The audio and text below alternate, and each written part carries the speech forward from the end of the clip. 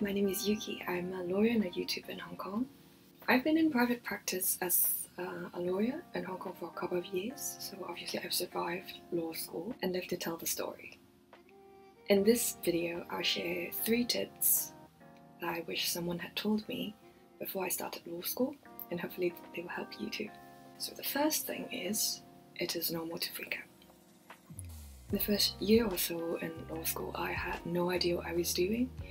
You bet I've done well in my DSE to secure a spot in law school, but nothing prepared me for what was to come. I read law at Hong Kong U and we had these pigeonhole things with our names on it us to collect reading materials for the week to come. I'm not sure if they're still there. Truth be told, the first time I collected them from my pigeonhole, I was ready to go full Hermione mode.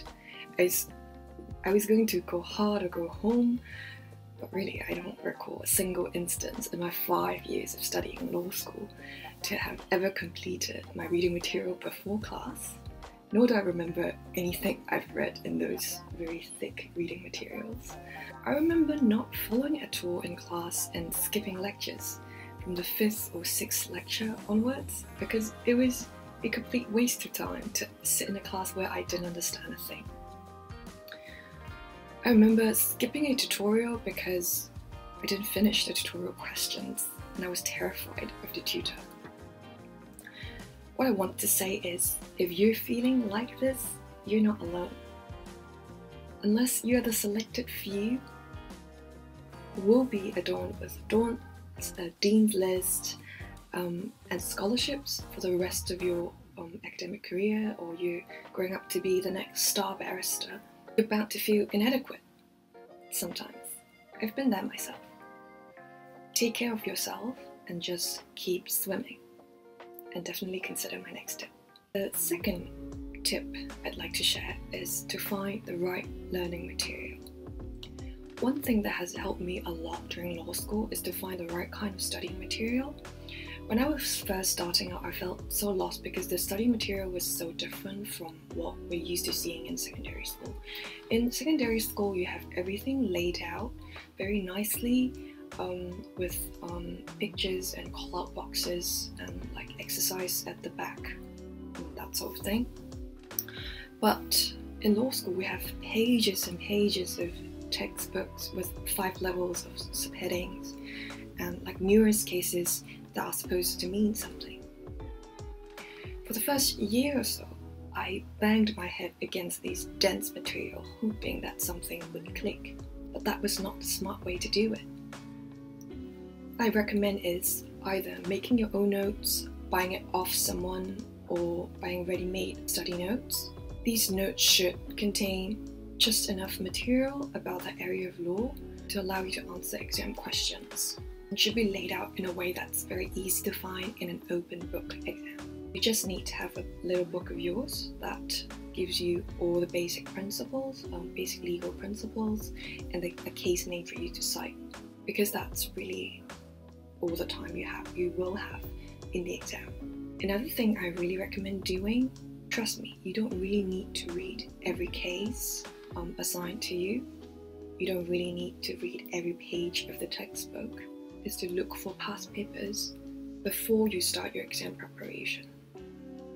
Do not get lost in the nitty gritty of ratios and what the majority or minority in a court said in a particular case. Start from the end and see what issues come up and the level of detail you're expected to go into in the time you have during the exam. And from there, determine how much material you actually need to master to give you a good chance at a decent grade. Third tip is that the grades are not the be all and end all, but they kind of are. So I cheated a bit here as I was actually told this before starting law school. I was told that I should aim to keep my grades in at least a B and B plus range. What it does, it helps you get into PCLL, which is the professional certificate course that, that is the entry ticket into the legal um, career. If starting a career as a lawyer in Hong Kong is at all on the cards, I'd recommend keeping half an eye on your grades. So, from my past experience, I've skipped tons of lectures which I didn't understand um, to start preparing for exams. whatever I do during the semester, because I had lots of non academic commitments, I, I started preparing for exams at least one month in advance to make sure I have time to catch up um, on all the materials covered in that semester. The first couple of times taking a law school exam would be terrifying. I remember being so clueless um, in my contract law exam, that would be one of the first um, law school exams you ever take. I remember being so nervous that I felt nauseous. It gets a bit easier as time goes. I guess that's because your baseline anxiety also goes up. On the other hand, if you're in a position where your grades are, you know, clearly out of the range where you can secure a spot in the PCLL, that's not the end of the world. The most important thing to remember is that law school and a legal career is just one of many kinds of endeavor that you can engage in, that you can choose to pour yourself into. And to be fair, it's neither the most glorious or the most lucrative in the grand scheme. So chin up. What you've learned in law school, you've learned about yourself and how the law functions, will still be valuable things that you can take with you to your next career. So there you go. I've rambled a bit, but hopefully you have found value in this video. And if so, I'd really appreciate it if you'd support me by giving me a thumbs up, mash that subscribe button if you want to see more videos like this, and click here to see my latest upload. I'm so proud of you for trying. See you in the next video.